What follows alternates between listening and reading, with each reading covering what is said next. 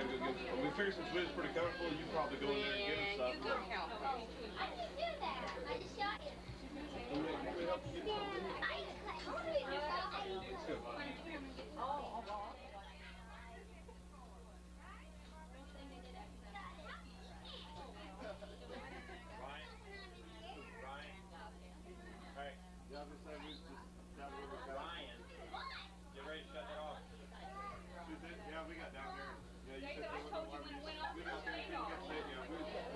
People to get there. They said, you guys come on in. Well, we're waiting for people. We got-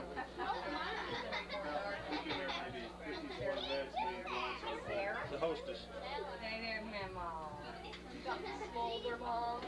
Just Boys, I think you better come fix your plate, okay? Ryan, shut it fix your baby's well, well, Carol. Turn it off. Later, fix your baby's plate. They eat out there on the table in the garden. Big baby. Maybe, maybe not.